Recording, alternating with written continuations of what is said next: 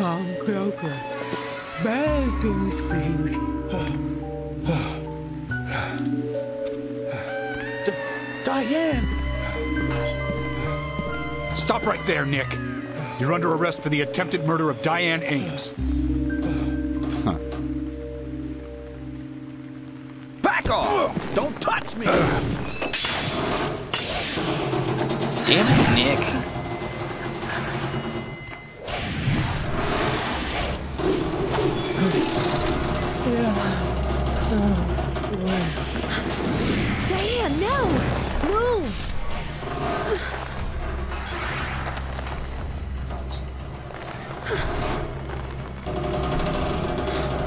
Emily, hurry!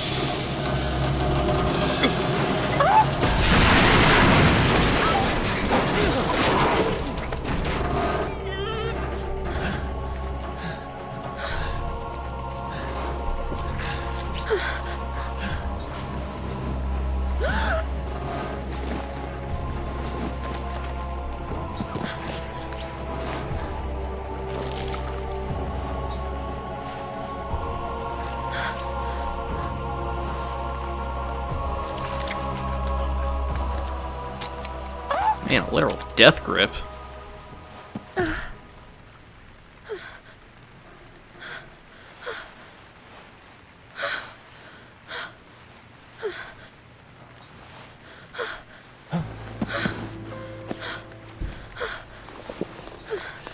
I requested...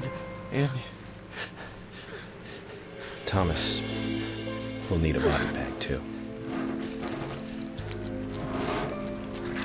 do it again, Thomas. Please don't. There's no toilets here.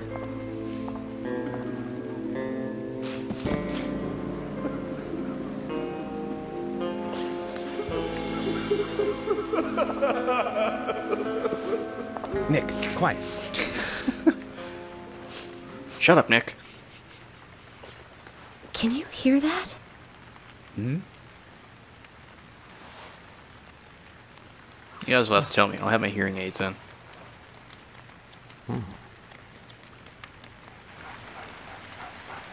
Oh, great. Willie's here.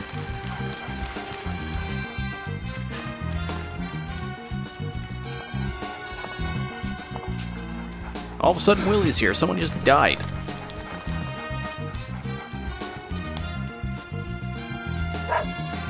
Hmm. I think he wants us to follow him. Shall we follow Zach? I mean, what else are we gonna do right now?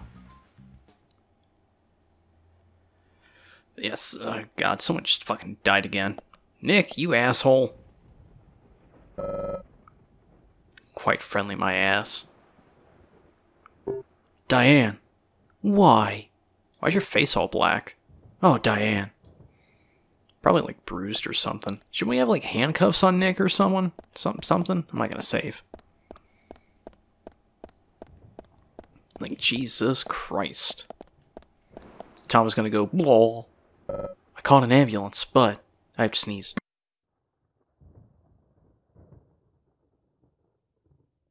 False alarm. I know, keep an eye on George and Nick. We might still need it.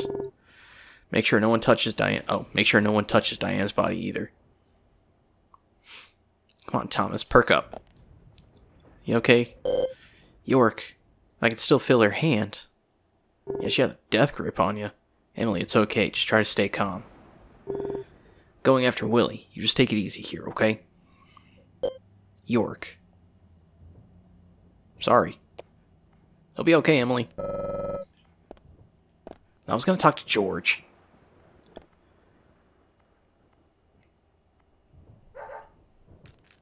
Where are you going, Willie? Alright, I'll follow him. Let me... Let's talk to him. You okay, George? Diane, we did what we could, but we still lost her. It wasn't all your fault, George. I'll go and see what Willie wants to show us. I'll leave the rest to you. Yes, okay. Sorry, George. You hulked out there for a minute. Where are you taking us, Willie?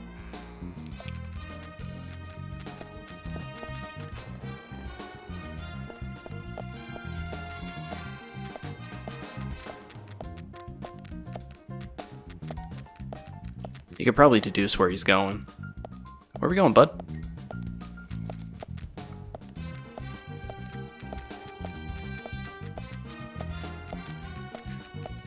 You know, now that I think about it, he's pretty small for a Dalmatian. Dalmatians are usually pretty large. At least larger than this. I mean, obviously they're not the size of like Great Danes. Great Danes are like fucking beasts. Let's go, Willie. With the hokey dokey music after someone died. Where are you going, buddy?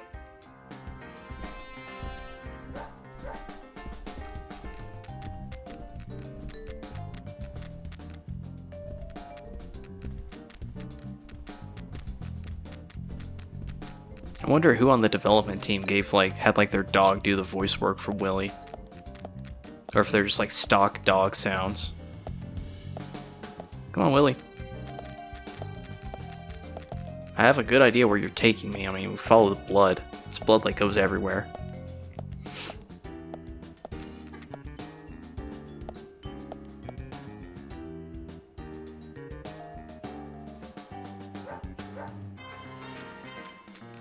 Why are we going in here?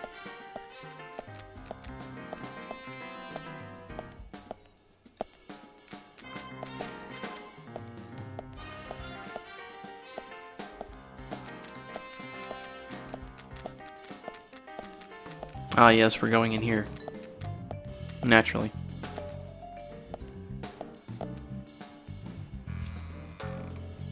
I really probably should have got another water like an hour ago. Throat's starting to be a little parched. In here, Willie? There's like a, like a gnat flying around.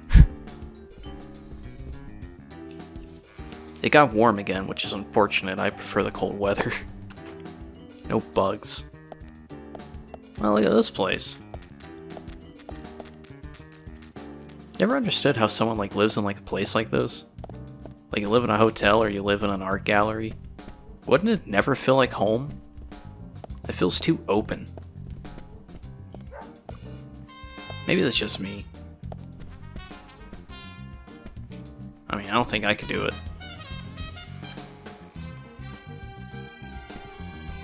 Maybe I could, I don't know. See, this looks a little more cozy. It's still pretty, pretty big though. Like, this doesn't really feel like a room. On close inspection, there are tracks on the floor, grooves perhaps. Might be able to move this, Zach. Yeah, push it. Do I have to hold it? What the hell's happening? Yeah, I do.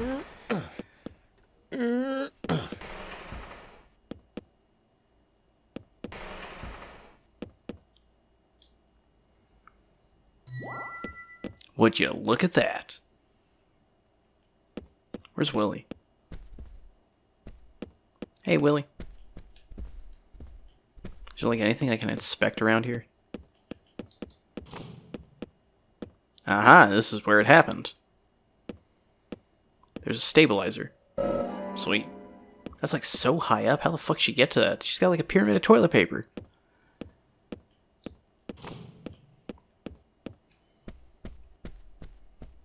Don't know, you tell me if you'd be able to do this. I don't know if I could. I might be able to.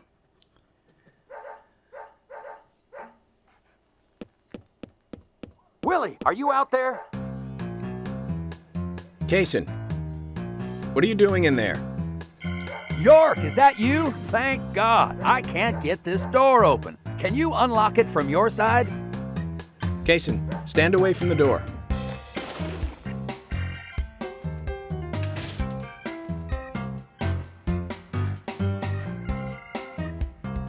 Look at that, he's got a little lipstick on his cheek. Wonder what he has to say about this. Where's Diane? And what are you doing here? I was going to ask you the same thing. Well, let's just say I have my reasons, you know, pri- private reasons. I don't really have to tell you, do I? Actually, you do. Diane just died a moment ago. What? You're not just a key witness now. You're now a suspect. And you need to tell me exactly what you were doing here. Well, I just. I just came here to talk with Diane. to have a conversation. And I suppose that kiss mark on your cheek is from your conversation. This was just a spur of the moment thing. Which is exactly what killed Diane. Okay, okay. I came here to be with Diane. You happy now? We've been together before, a, a, couple times. It's one of the reasons why I like coming to this town, see? This time is no different. I, I, I bumped into her in a bar in Seattle. I had some, some holiday coming up. Well, so, so I just took it and I drove her back here. I have a wife, you know, but, but we've been separated for a while. We're going through a divorce right now, and I don't want her lawyer finding out.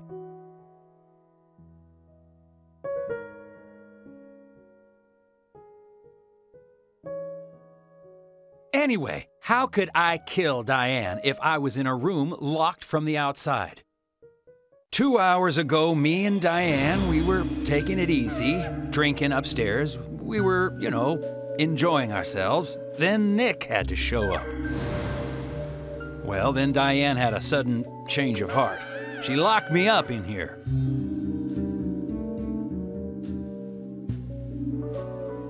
I've just been here, waiting for her to come back, of course, but, but she didn't. I heard footsteps a couple of times, but they just passed by.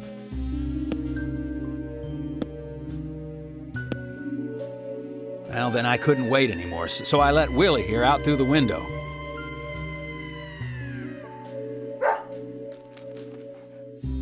Then you showed up instead of Diane.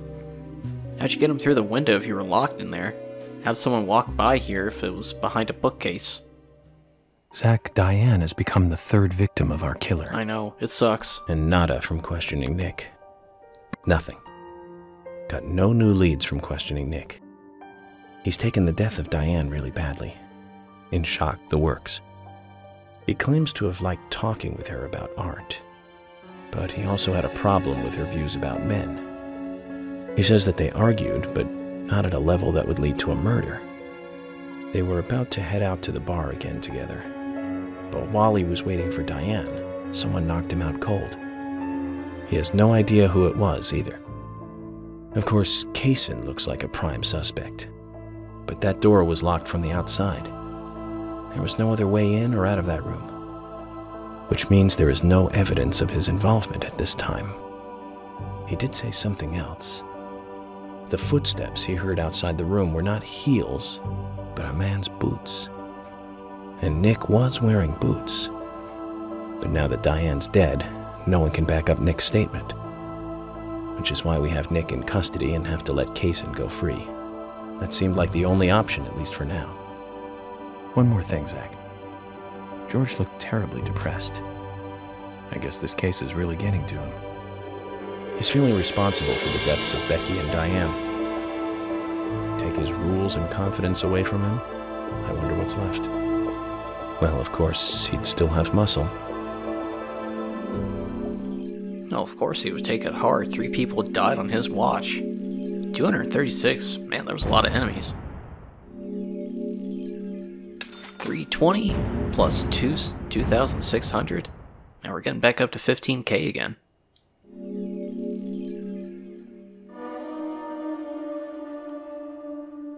Alright, I wonder what's coming next.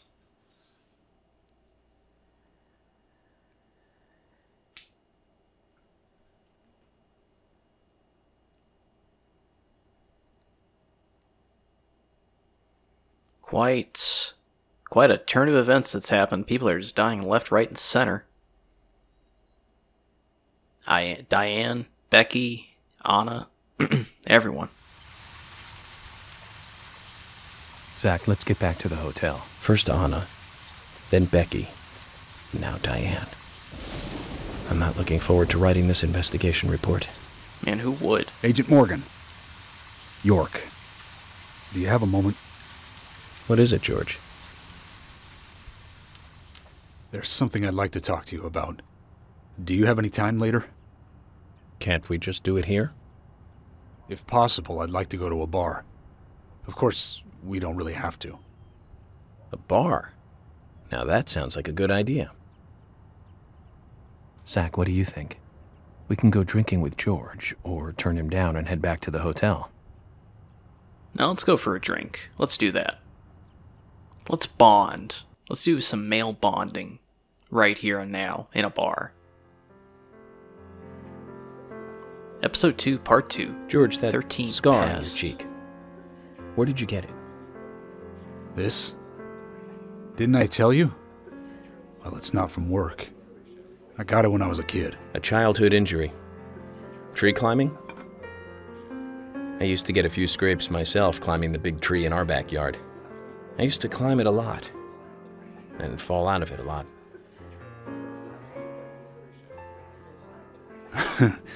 This wasn't anything like that, though. It was my mother. She did it. I'm sorry, George. Don't worry. It's ancient history. The world is flooded with unreasonable violence. The strong overpower the weak, adults over children, men over women, and criminals over their victims.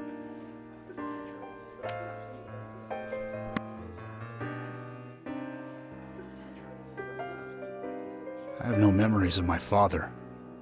He left before I knew him. My mother would hit me every time I asked why. And it didn't stop there.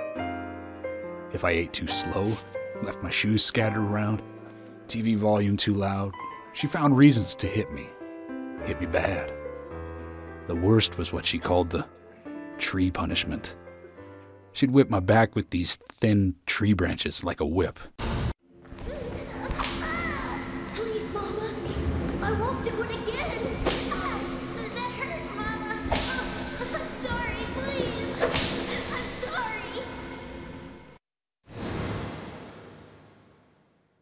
Tree punishment was definitely the worst, I tell you. Just hearing those words used to make me shiver and want to pass out. And that's why I didn't want to show you those scars on my back. Every time after the tree punishment, she'd always say the same thing. This is hurting the tree more than it is hurting you. And me, being a naive, dumb kid, I believed her. I went to the woods to apologize to the trees.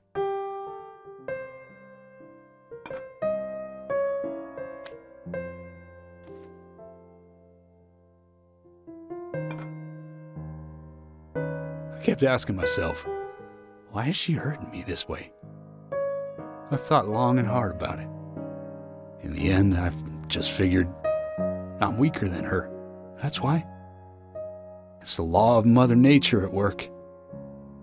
The strong eat the weak. But now you have the power to protect the weak. That's right. Perhaps I should thank my mother for guiding me into this line of work.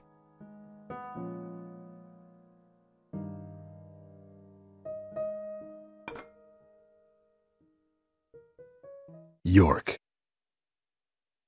I've been an arrogant fool, haven't I? And if it weren't for me, both Becky and Diane would still be alive. I could have saved them both. You know, it's almost like they died because of me. You're out of your mind. I invited you to this bar for a drink. But I guess this bar is my confession chamber, and I wanted you to listen.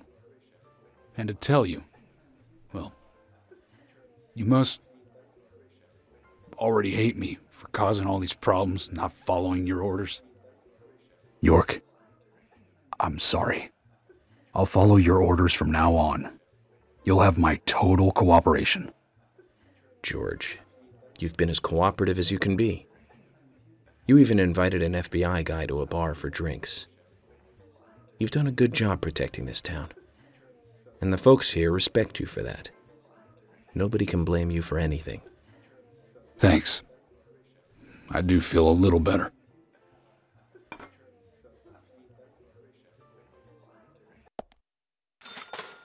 Well, that was some nice bonding with George. Really nice. He actually called us York for once. Since we're here, why don't you talk to a few other people? I'll just finish off my drink. Let me know before you leave, okay? Hey, I mean, you're gonna be my fast travel back to the hotel. oh, there's Carol. Looks like there's someone up there. I'm gonna save real quick, because I'm actually done for the night. Don't want to save? Yes, I do. Alrighty. Yeah, that'll do it for me today, guys. When we come back, we'll talk to people in the bar. We got Carol. There's a couple of other people I know we can talk to. I think it's mainly Carol. And then we'll go back to the hotel. We will do our investigation report. But that'll be for next time. So I want to thank each and every one of you for watching and checking in. If you did enjoy the videos, always let me know down in the comments section below. I look forward to reading anything that I do get. But I hope each and every one of you had a fantastic day. Stay safe, stay healthy, and I'll catch you guys in the next one. Take it easy.